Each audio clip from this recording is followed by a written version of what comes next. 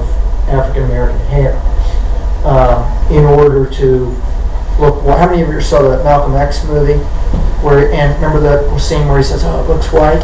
Well, that was uh, a, a, that was lipstick on a pig moment in which a, a, an oppressed minority or a put upon is uh, uh, lipsticking themselves to try uh, to try to gain legitimacy. Huh, that's an interesting point. Yeah. So it's I mean this guy's thinking.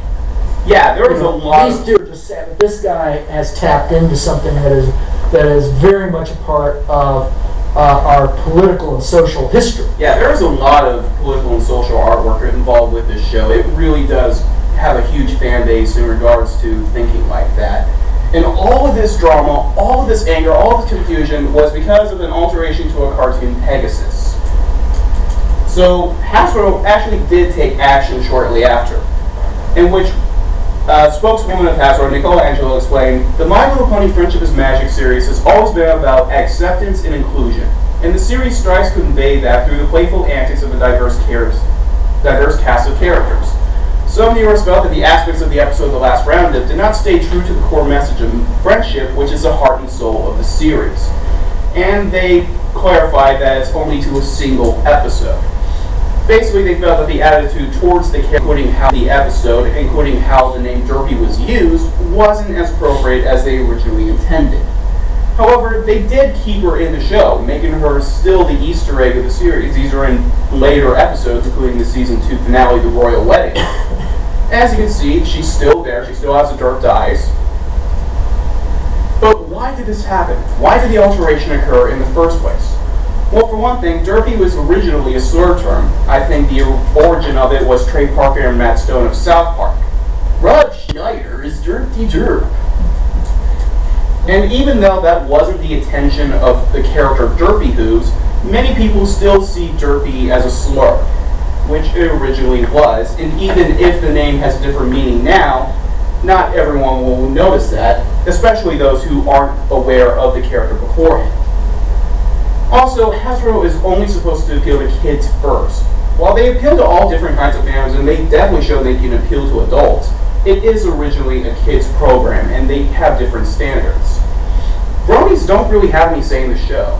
Derpy was and will always be a Hasbro character, and even though Bronies did help develop her in the way she is now, it's still they still don't really have any say in the show, and the control of Joe have all the control of. Also, some people were offended by this. Now, there were some testimonies from fans saying that they know people with disabilities who really did look up to Derpy and thought she was a great character. But there were those who were offended, and that is the big issue here. And also, Hasbro has had problems with unintentional name problems before. The most recent example was in 2010 with the character Spastic from Transformers. Because it turned out that in Great Britain, spastic was a slur towards cerebral palsy. And after a lawsuit was made, the toy was pulled off the market in Britain. Yeah, but that's uh, in my era in elementary school. Spastic was a, you know, it, a term used for you know nerdy, nervous, spastic kid, right? Um, and uh, so yeah, So yeah, as you can see, Hasbro has had this problem before, and so because of how they dealt with it here, it shouldn't be any surprise that they would deal the same way with the name Derpy. So, what are my final thoughts? Eh, whatever. Derpy is still in the show.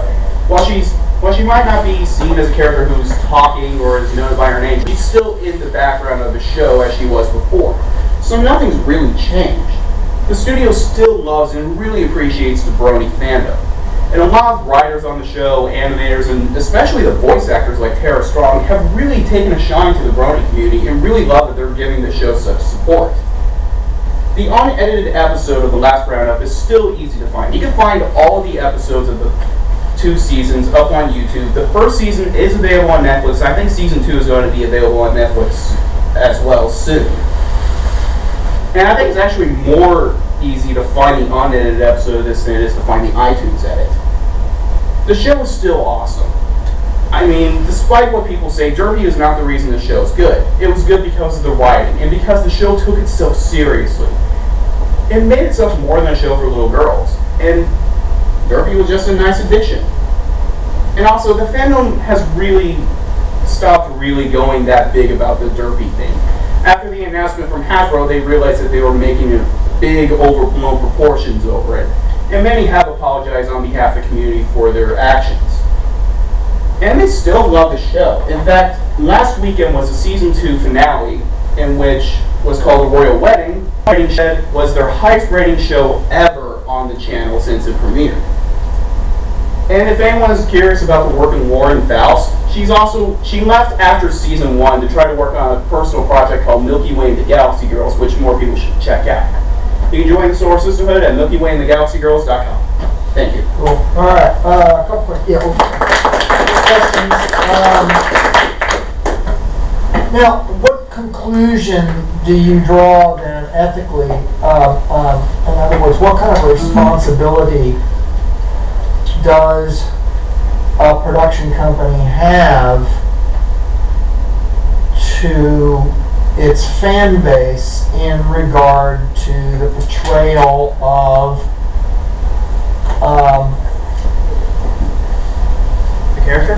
minor, minority groups or other uh, groups that might be culturally uh, challenged. Well, the fact is, even though My Little Pony is popular among the adult fan base, it's still a show primarily for kids and young kids. And because of that, there are different standards than would with most other shows. So would you say then that that they made the ethically right choice to edit that character for the show?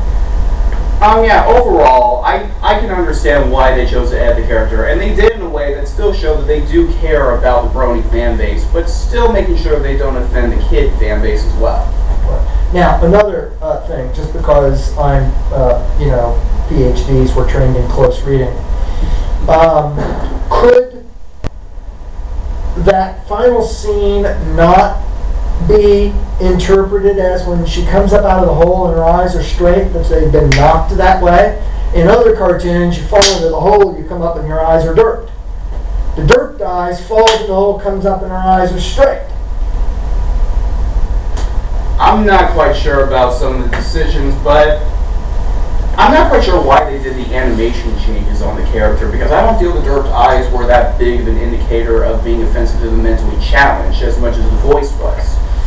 However, that was the action of Studio B, and Right, but, but it would be interesting to find out from the, uh, the, and now that was a change, however. yeah, But, um, it actually seems to make sense to me, given what happens to other cartoon characters when they fall into holes or things blow up. Um, true.